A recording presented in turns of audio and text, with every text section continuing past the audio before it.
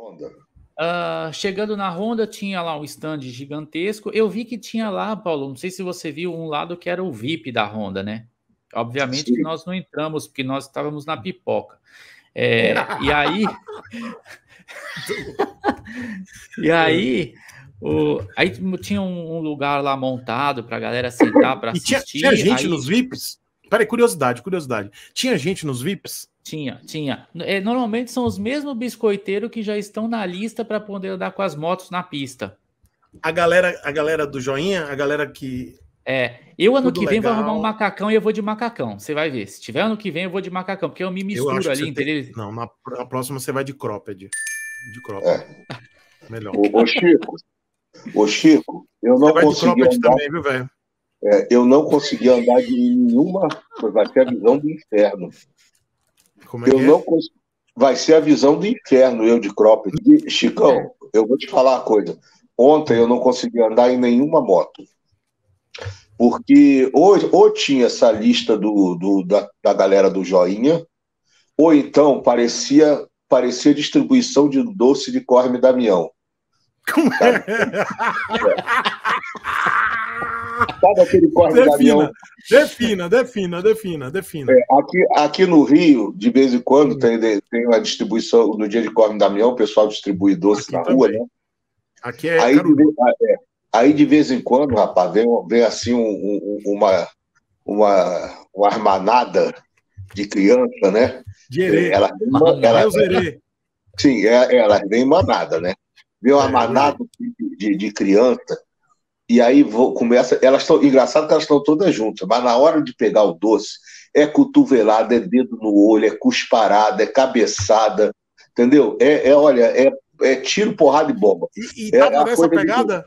De... E, ah, tava, tava. Aí eu, eu, eu desisti, eu falei, não, não vou andar de moto, não.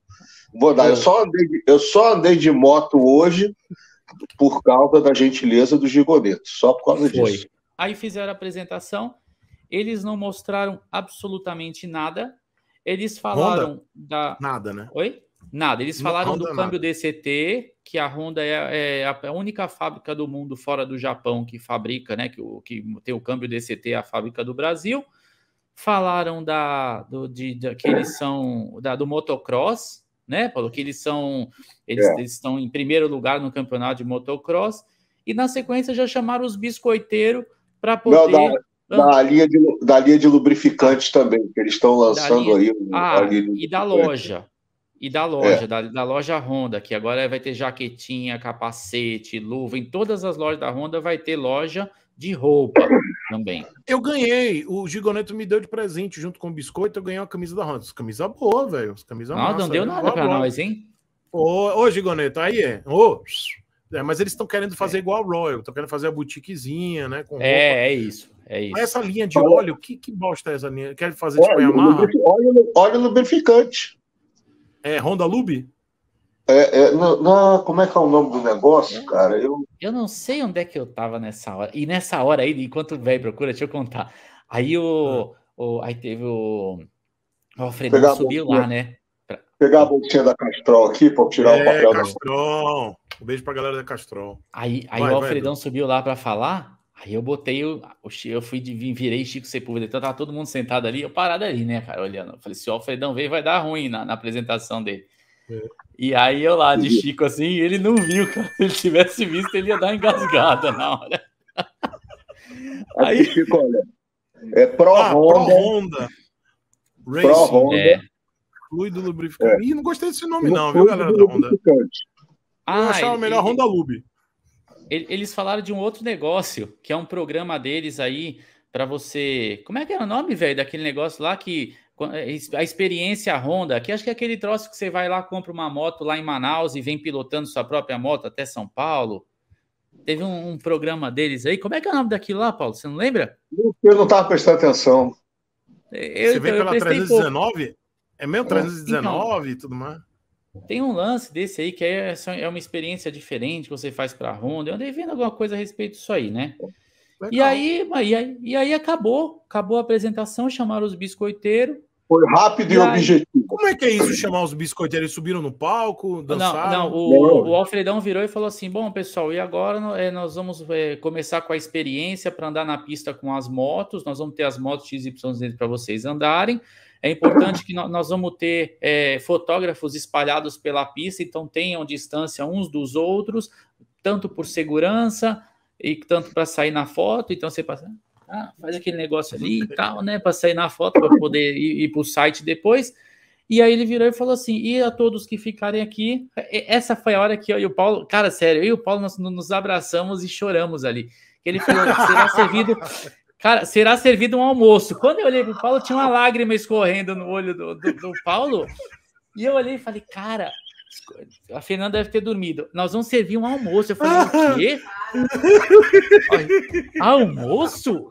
Eu, eu pensei que eu tinha ouvido errado. Quando ele confirmou, a lágrima rolou aqui no. no Não, assim. E aí, sem brincadeira, juro por Deus, o Rick apareceu nessa hora. O Rick, eu ia falar isso, o Rick ficou. Ó, oh, pra quem acha que o Edu é morta-fome, o Rick falou a live ontem inteira dele da, do rango, da comida da Aí o Rick apareceu, entendeu?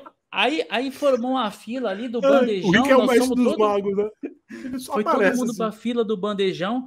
Eu comi ravioli de queijo, comi torta de frango, comi fruta, tomei suco. E, cara, tinha você salada é também, tinha salada. Naquele, na, naquele, momento, você sabe qual foi meu sentimento? Eu, é, é, é, é assim, eu saí da casa de um rico que não me servia um copo d'água. e fui para a casa de um pobre que não lançou nada, mas me deu comida. Eu falei, cara, eu tô feliz com a Honda. Não, é, eu saí da casa do rico ali da Yamaha que não me deu um copo d'água. Ah, Aí eu fui na, tá. Cara, a Honda não lançou nada, mas eu saí tão feliz de lá, cara. agora, agora, falando da Honda de lançamento, né? Ah. Também é uma decepção, né, cara? Não ter nada, não mostrar nada. Teve nada, nada, neca de pitibiriba. O, o, o, Chico, nem a Forza tava lá. Nem a Forza tava lá, a scooter dele. Mas tinha, que, que, moto que tinha assim no stand? Tinha a 300, a, a, a nova, a CB300, Aí tinha Elite, ah. tinha PCX, tinha XRE 300. África Twin. 300. África Twin. A XADB. NC 750 no Brasil. É, NC 750. Aí era isso. Aí tinha uma África Twin toda suja de terra. É, que isso aqui era... até eu botei lá. Até eu botei lá. Se sou eu que deixo minha moto daquele jeito, eu chamar de porco. Mas como era eles, era, era decoração. Mas a força, não colocaram a força? Não, eu não vi lá. Não vi nada, não vi. Você viu lá, velho? Não tinha, não tinha força. Não, não vi, eu olhei. Não, vi. não tinha, não tinha. Não vi. E, mas eu estava ocupado, e... eu não vi, mas eu estava ocupado com medo, né? Não sei. E vocês apertaram, vocês apertaram a barriguinha do, do Gigoneto para saber por quê? É, na, na, na, realidade, gente, o que, o que as pessoas não sabem, né? E quando você começa a se inteirar, você começa a entender, é, são coisas que, que a gente desconhece. Por exemplo, trazer uma moto da Indonésia é uma coisa, trazer uma moto do Japão é outra, né? É, você tem fábricas que produzem volume de vendas que às vezes uma é mais, é, é mais flexível que outras. Então, são coisas diferentes. Então, de, depende de onde você traz a moto, depende do volume de vendas que você tem. Por exemplo, se eu ligar lá na, numa fábrica X e falar, eu quero trazer 200 motos, é uma coisa. Se eu falar que eu quero mil, é outra. E às vezes os caras não podem falar não para mim. Sabe? Então, é isso. É, é, é um projeto complicado. Mas você está né? com a cara de que não, não aceitou bem essa, esse argumento. É, eu conversei algumas coisas com ele, sabe, Chico? E é. Não, dá... eu sei, tem coisas delicadas, sensíveis dá... que não é. dá para falar aqui. É, mas eu não aceito muito bem mesmo tudo, não, né? É, eu acho que se. É, o, que não, o que não pode falar, não fale, entendeu? Não fale, porque o, a gente o, respeita acho... realmente a confidencialidade. É, quando a gente fala de volume de vendas, né? O dia que a, que a Yamaha resolveu lançar a X-Max, a, previsão, a venda era zero e eles apostaram. Se você vê uma Yamaha apostando no Max Max, você vê uma BMW apostando numa, numa C400X, você vê uma JTZ trazendo agora a Downtown, querendo trazer a scooter das ONS, a, a venda deles atual é zero. Eles têm uma previsão, mas eles não têm garantia. Então, o que eu penso? Pô, se a Honda quiser, ela traz, cara, ela produz isso aqui. né? Mas não sei qual é a estratégia dos caras. É, eu sei, eu digo aqui, a Honda, ela, ela, ela sabe, e o Paulo sabe disso, porque a gente já a gente faz parte do mesmo grupo. E eu vou te colocar depois nesse grupo de estudo, tá? É o mesmo grupo tá de estudo que, que a gente participa, e você agora já tá, já considere-se dentro desse grupo de estudo, porque você precisa estar tá dentro dessas informações. E através desse grupo de estudo que a gente tem, a gente soube que várias motos, inclusive várias da Honda, inclusive a Forza 350, elas têm um custo operacional alto por serem motos importadas e o, a, o imposto é muito alto.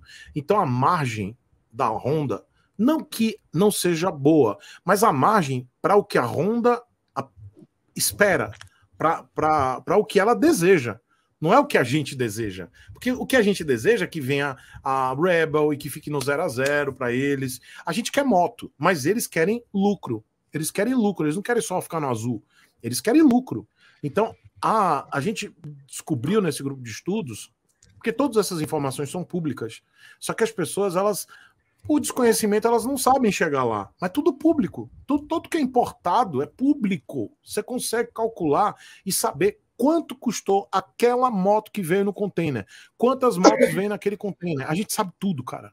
Então dá pra gente saber, a gente, a gente soube o custo, o custo de uma CB500X, o custo de uma Forza 350. E foi mais é, essa moto aí, é, específica no, no, estudo da gente, é, em uma das aulas.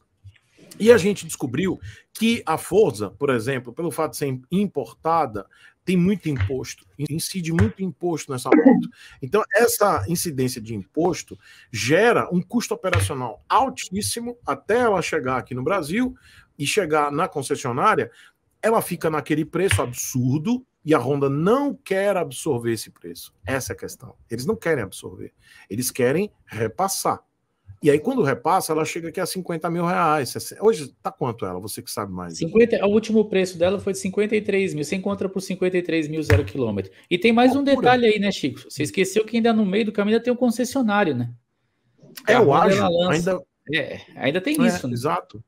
Perfeito. Então, uh, quando chega no, no, custo operacional, essa moto ela fica inviável. Então, eles trazem para testar, mas já tendo uma ideia assim: olha, não vamos absorver o custo disso, nós não vamos colocar, abrir nenhuma linha de montagem, porque isso não vale a pena, porque linha de montagem é contratar gente, aumentar a linha, é custo, entendeu? Então, se eles observaram que eles já sabem que a CB500X, a margem que eles desejam é baixa. Eu não estou falando do que a gente acha que é bom. Porque lucro eles têm. Mas a margem que eles querem é 3x, 2, 4, 5x. Eles não alcançam com a CB500X. O Paulo sabe disso. E em breve você vai saber. Então, quando eles pensam assim, pô, uma Rebel, cara, é a mesma base, a Rebel 500, é a mesma base da CB500X, mas muda tudo, muda chassi, muda a zorra toda. Então, isso tem que ter uma linha de produção. Então, vamos importar primeiro as Rebel, Vamos, mas ela não vai chegar no, no preço de uma CB500X porque tem imposto. Então a CB500X está a 50, ela vai chegar a 60. Aí ninguém compra. Entendeu? Só os trouxas que compram, mas eles não vão alcançar as vendas que eles querem. E é por isso, entendeu? A Honda não quer absorver é, prejuízo. Ela não quer tentar. Ela, ela já está num estado aqui de 75% do mercado, ela está cagando. Ela não liga. E, e foi uma decepção. Para mim foi também mais uma decepção. Eles podiam, pô, pega a ADV 150, bota um motor 160 nela, que já tem lá no Japão, que já foi lançada já faz um bom tempo, que é o mesmo motor da PCX. Atualize então, sei lá. Eu, é, é, que é muito fácil para a gente falar também. Ah, pega isso coloca lá, né? Claro que não é assim, é. mas, é. mas é, sei lá. Você faz um evento, você gasta um dinheiro, você faz um baita de um negócio e, e parece que você não aproveita aquele negócio, aquele investimento todo, né? Então, o que, que você vai falar de Honda hoje? O que, que nós vamos falar da Honda? Chico, o que, o que a gente viu muito lá, não sei se o Edu vai concordar comigo, o que a gente viu muito lá era cachorro mijando para marcar território. Sim. Sabe? Sim. Então, a, a, a, muitas empresas colocaram o, o, os seus estandes lá para se fazer ver mas não tinham nada para apresentar.